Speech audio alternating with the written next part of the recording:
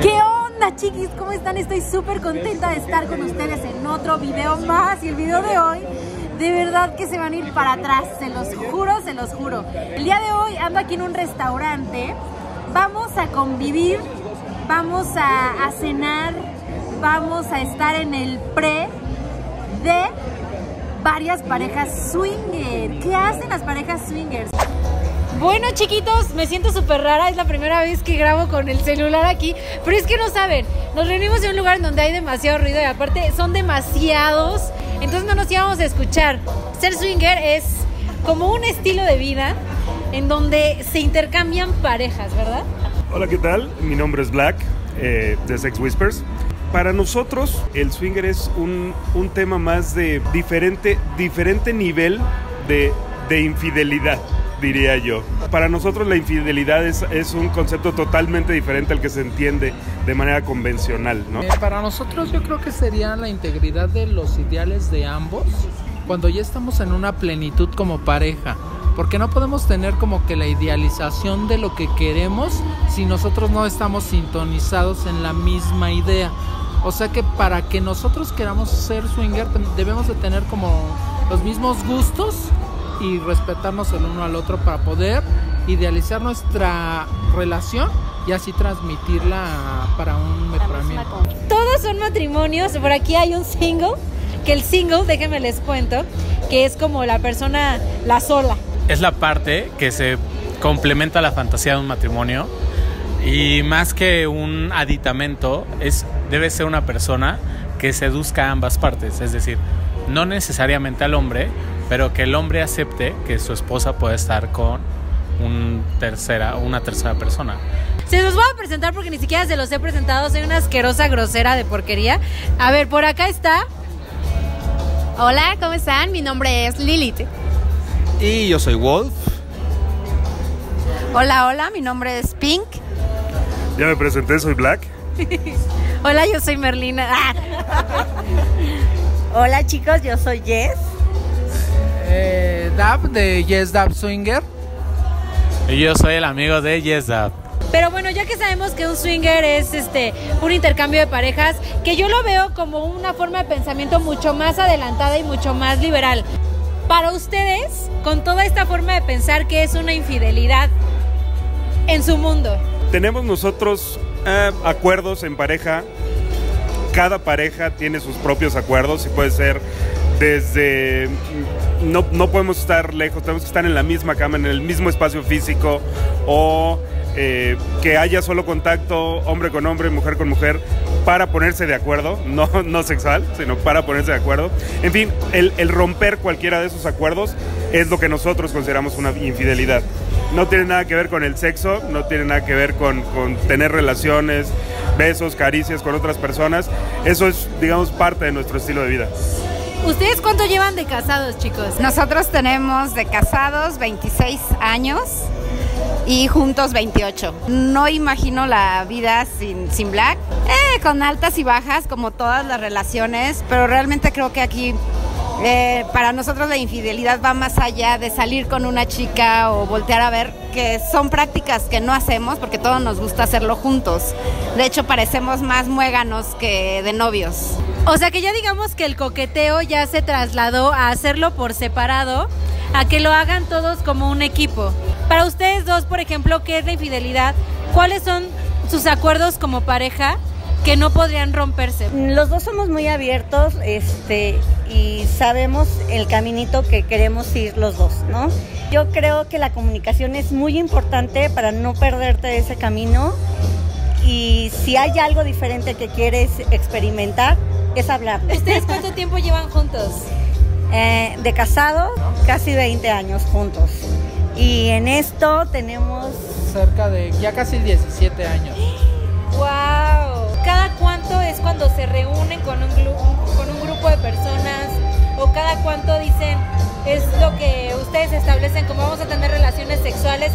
¿O swinger es tener relaciones sexuales nada más que según yo no? Nada, puede ser hasta de convivir o besarse o, o caldear nada más, ¿no? El tema ahí no es básicamente el tiempo que tenemos para establecido, es cuando se dan los estos momentos es cuando nosotros optamos por decidir si es ad hoc, aventarnos al ruedo o hasta ahí mantenernos. El tema no es como fundamental para nosotros. Nosotros a clubs casi no vamos, es la realidad. Eh, enfocarnos así en reuniones con parejas no vamos. Nosotros experimentamos el swinger de otra forma. Eh, a lo mejor con una pareja vainilla, obviamente con acuerdos, o un chico vainilla, o una chica vainilla. Tenemos la confidencialidad de efectuarlo de manera diferente y a veces hasta por separado. Oye, a ver, pero a ver, espérame, porque hay muchos términos aquí que obviamente ellos no van a saber. ¿Qué es alguien vainilla? Eh, vainilla es que no está en el medio, una persona convencional. ¿Saben a alguien de ustedes de dónde nace todo este movimiento? Justamente eh, en uno de los programas que tenemos los otros cuatro, que eh, tenemos un podcast llamado Sex Whispers, que tocamos justamente todo este tema, hablamos al respecto de estos orígenes y uno de los, de los primeros momentos en que se estandarizó, por así decirlo, fue a partir de la Segunda Guerra Mundial en donde muchos de los combatientes que estaban en otros, en otros países eh, le encargaban a sus esposas, a sus compañeros, para que cuando regresaran aquellos, sin que los maridos pudieran tal vez regresar a la casa, sus mujeres estuvieran bien atendidas. Eso es como de los es como casi casi los orígenes del movimiento más formal. Sin embargo, hay un tema muy importante que, que vale la pena ahorita tocar, que no es lo mismo ser swinger al mundo liberal. Porque el tema swinger, en el sentido más estricto de la palabra, es dos parejas que tienen un intercambio entre ellos cuatro y básicamente es that's it. Cambian pareja. Sin embargo, dentro del mundo liberal o de la ondita, como le llamamos nosotros, hay muchas muchas vertientes que puede ser justamente el intercambio de parejas, hasta cosas tan simples como el exhibicionismo o solamente las parejas que van a ver y que los vean, sin que haya un solo contacto físico. Como que se fue haciendo más, más estricto a partir de, de los años 40, 50. La verdad es que yo considero que siempre se han hecho este tipo de prácticas, nada más que pues es un tabú porque así lo fue estableciendo la gente, pero realmente normalizamos que los esposos o las esposas o los novios o las novias sean infieles y qué mejor que llegar a un acuerdo con la persona que amas, que, porque cuando te eres son infieles es más cuestión de sexo, de, de, algo más carnal. Que llegar al acuerdo con la persona que amas, de decir, a ver mi amor, te amo con todo mi corazón y me encantas, pero me gustaría explorar esto, ¿no? ¿Cómo ha cambiado su vida y cómo ha cambiado su relación de pareja? O sea, ¿cómo fue el antes y después de haber llegado a esto? En este caso, Wolf y yo, hace tiempo atrás, eh, habíamos estado juntos y llegamos a un lugar famoso de este medio y ahí conocimos y no nos gustó mucho. Bueno, será que a mí no me gustó. Y de, tiempo después eh, nos separamos. Él conoció este mundo liberal y cuando nos volvimos a reencontrar, él me enseñó este nuevo mundo, lo cual yo desconocía completamente porque me había quedado con la idea anterior. Una vez que, que conozco, en este caso, a Pink y a Black, eh, a otras amistades, conozco otros lugares, conozco las reglas, eh, sí cambia tu idea de tu forma de pensar, sí cambia el, el aceptar un poquito más esta apertura mental porque pues sí, sí traes muchos complejos, ¿no? De familia, de que hay nada más con tu pareja, pero ya cuando vas conociendo esto poco a poco, sin forzar las cosas, de verdad que fluyen y cambia mucho. ¿no? O sea, cambia en el aspecto con tu pareja, en el aspecto sexual, en el aspecto de la confianza, en el aspecto de decir, ¿sabes qué pasó esa persona, hombre o mujer, y me gustó? ¿No? O sea, me llama la atención, pero ya sin problema con tu pareja. Porque muchas veces en el modo vainilla, como lo llamamos nosotros, eh, ¿ya viste? ¿Por qué la ves? ¿No? O sea, empieza el problema. Sin embargo, aquí no, aquí es, ay, mira, esa chica como la ves, ah, sí está bonita, ah, sí, alta, chaparrita, la, la, la, la. Y dices, bueno, órale, va, entonces ya cambia esa confianza, esa comunicación con tu pareja. Hay una apertura más, ¿no? ¿Alguien de ustedes llegó a esto porque ya su vida sexual como pareja ya estaba en el término de así decir, no manches, es que ya no? Hay una analogía que tiene un, buen amigo, Pedro, eh, al respecto al swinger. Él, dice que el, swinger es como una casa de los espejos, solo refleja lo que tú traes.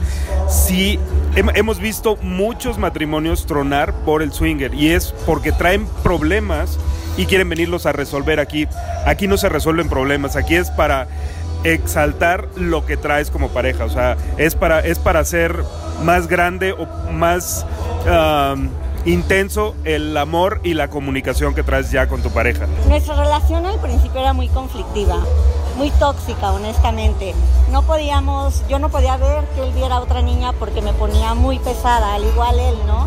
Entonces, esta idea cuando a él le surgió, a mí la verdad me escandalizó mucho.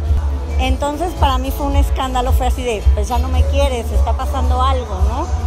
Entonces, ok, empezamos con esto y la verdad nos ayudó muchísimo en esa situación que yo te comento, de, que era muy, muy tóxica la relación. Entonces, ahorita ya es una apertura muy amplia, muy liberal hasta cierto punto, pero con los acuerdos que yo te decía, ¿no?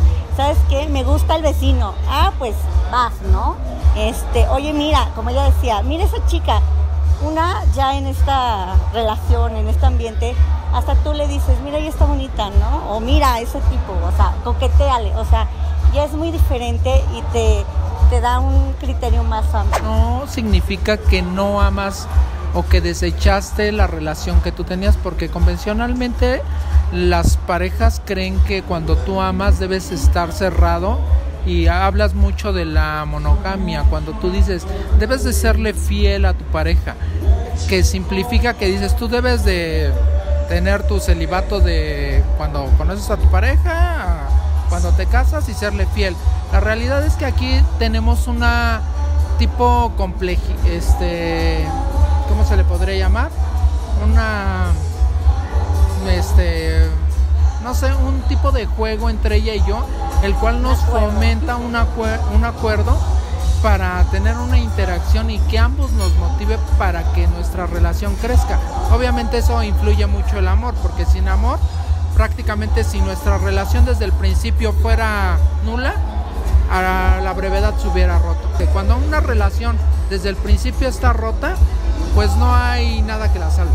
O sea, cuando no existe el amor por ahí, entre comillas, como le llaman, no hay nada que la solucione. Algo que me llama cañón la atención es que varios de aquí tienen hijos. ¿Sus hijos saben? Los mayores supongo que sí, nunca han mencionado el tema. La pequeña sí lo mencionó, sí preguntó qué onda. Y bueno, no hemos dado más información de la que ella pregunta, ¿no? Que también les das la apertura, como le digo, de dar, ser un ejemplo de pareja donde para nosotros el swinger lo que ha dado es confianza, complicidad, seguridad en mí como mujer, que de verdad no importa la edad que tenga, sino cómo la vivo, cómo la disfruto. Y de verdad me encantaría llegar a ser una señora de 60 años eh, que pueda decir qué le gusta, qué no le gusta, y ella seguir eligiendo con quién da un beso, que no la elijan, ¿no? Sino ella elige con quién, con quién o qué estar. Y asimismo Black también pues nos vamos siguiendo porque somos un complemento, entonces él también procura pues estar mal. Algo de verdad que encuentras mucho en este mundo es parejas muy cuidadas en todos los sentidos, tanto físicamente como intelectualmente, o sea, tienes plática, nos gusta viajar, nos gusta conocer lugares, nos o sea, muchas otras cosas. Entonces con mi hija espero que en algún futuro ella vea que el swinger nos da más cosas lindas que, negativas, ¿no? ¿Qué de diferente hay como mujer en ustedes a partir de esto? En su sexualidad, en conocer su cuerpo, en cómo se ven al espejo, en su autoestima, ¿qué, ven diferente? en ocasiones, pues pasa de que, bueno, quieres un poquito más de boobies, un poquito más de pompis, ¿no? Entonces, pues te ayudas y, eso es padre porque sube tu autoestima y te hace tener más confianza en ti misma, ¿no? Puede venir otra mujer delgada o muy buenota, dices, qué padre cuerpo, ¿no? O sea, la verdad es que haces ejercicio, estás tomando algo y no hay tanta envidia, sino al contrario, es un apoyo entre las mujeres.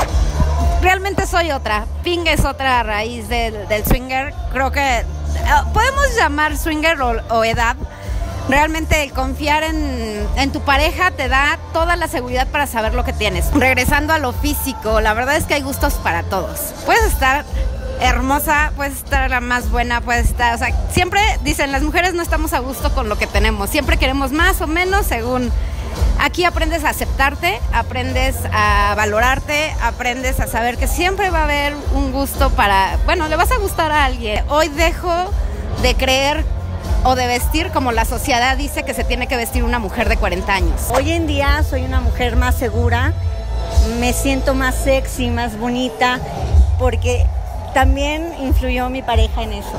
Porque si al principio era una relación tóxica, en esto ahora él me ayuda, él no, te ves mejor así.